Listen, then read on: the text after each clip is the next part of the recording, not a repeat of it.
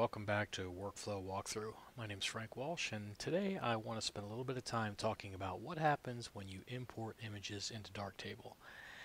And I'm going to cover this because it certainly is a cause of confusion, uh, particularly for a lot of new users. And it shows up in the Facebook group very often. People are saying, what happens and why do I have all these adjustments applied to my images when I import them? So let's talk about that a little bit. What I have on my screen here is an image that I just shot for the purpose of this video and uh, I imported both the RAW file and the JPEG file. Now you can probably see right off the bat that the previews here look slightly different. I haven't done anything with either of these images yet. The RAW preview, since the image hasn't been opened by Darktable yet, is really just the JPEG file, uh, JPEG thumbnail that's embedded into the RAW file. The JPEG file is, of course, the JPEG that came out of my Olympus camera. Why are they different is not something that I can readily answer, except that I suppose that the built-in styles in the camera uh, may not be applied to the thumbnail JPEG. Honestly, uh, I'm not really sure. It, it seems to be almost the same, but the saturation is, is slightly different. The brightness levels are the same. Uh, but the colors are, are not quite as deep in the, in the thumbnail. But let's take a look at these. I'm not going to open them in the darkroom yet. I'm just going to preview them because something happens when you preview a RAW file that throws a lot of people off. So first thing I'm going to do is select the JPEG and I'm going to do Shift W to open it up in a preview window. And the JPEG looks pretty much like it looked on the back of the camera. Uh, you know, hard to compare them directly, but you know, nothing really changes about the JPEG. Now I'm going to hit my left arrow key and we're going to go to the to the preview of the raw file and you're going to see something funny happen because it's the preview is going to open up looking one way and then it's suddenly going to change. So let's just take a look at that. So I hit left arrow and see that the preview started one way and then got darker all of a sudden. Now why in the world would that happen? Well, because now Darktable is actually looking at the raw file and is applying the defaults that I have set up for import. So what does that mean? Well, for most people, and I believe the current standard in Darktable for a new installation is when a raw file is opened, if you look under core options, the auto apply base curve and auto apply sharpen modules are turned off. Okay? So that means that Darktable is effectively doing nothing to your image except what it needs to do to display it. So that also causes some confusion. Let's open this up in the darkroom. We'll open up this raw file in the darkroom and people will say, yes, but look, there's all these things that have been applied to my file and I don't want any of that stuff except all that stuff is what's necessary to actually display a raw file on screen. Alright, so the white balance is taking from your camera. It has to demosaic. The input color profile is just determining what kind of a, uh, image this was shot as. The output pro color profile is what do you want to display on the screen, the display encoding, and the orientation. So none of this is actually changing anything. If you click on original and you click compress, nothing goes away because all those things are required. And you'll also see that nothing changes on the image if I click back through these, these individual steps. So this image, why is this image darker than the JPEG? Well, because it hasn't been processed yet. That's the nature of a raw processor. So what if I wanted my images when I imported them to look more like the in-camera JPEGs?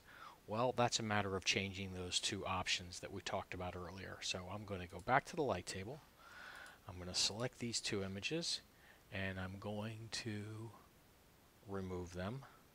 First I'm going to I'm going to discard the history from both and then I'm going to remove them. And now I'm going to go into these core options and I'm going to turn on the base curve and turn on sharpening close that. Now I'm going to re-import. Let's take a look at what happens. Alright, now I'm going to do the same thing I did before. Shift W. So that's the embedded JPEG, or that's the actual JPEG out of the camera, sorry, not the embedded JPEG. And now if I go left arrow key, okay, it gets darker in the preview just like it did before. However, if I open this, Darktable will automatically apply the base curve, except that it didn't. Okay, let's see if the third time's a charm here, folks. I found that the XMP file was not being deleted even though I was discarding the history. So that's why when I re-imported the files, they didn't uh, apply the base curve.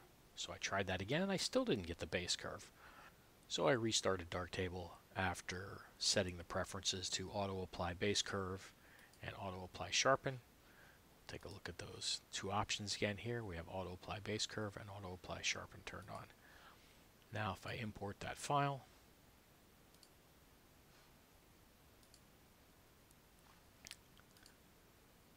I now have the JPEG file. So this is the JPEG file out of camera. And if I left arrow, this is the raw file with the base curve auto applied. So you still you see it still did change. It still shifted from using the embedded JPEG to the uh, base curve applied by Darktable, but it didn't get as dark as it did before. This is now what Darktable thinks Olympus uh, JPEGs look like. It's not perfect, but it's certainly closer from an exposure standpoint. And if we open up that raw file, we will see that the base curve module and sharpen modules have both been applied. So the base curve module is, is on and it is set to the Olympus-like alternate as we can see because that's what's bolded. So that's the default base curve uh, that, that Darktable uses for my camera. You can change that, but uh, the, I don't use the base curve anymore, so I haven't bothered. So how do you get a perfect copy of your in-camera JPEG? You don't. Um, Darktable does not have access to the cookie recipe that your camera manufacturer uses to create your in-camera JPEGs. The base curve uh, does its best to come close, and some for some cameras does a better job than others. But if you don't have base curve turned on, you are always going to end up with a image in Darktable that looks significantly different from what you saw in your camera and that's because Darktable is going to do everything it can to give you only the raw information and to give you every bit of the flexibility that it can to process the image the way you want to. Alright, I hope this clears things up a little bit. I really didn't process an image today. I just wanted to talk about this import function because it seems to really throw people for a loop. Thanks, and talk to you again soon.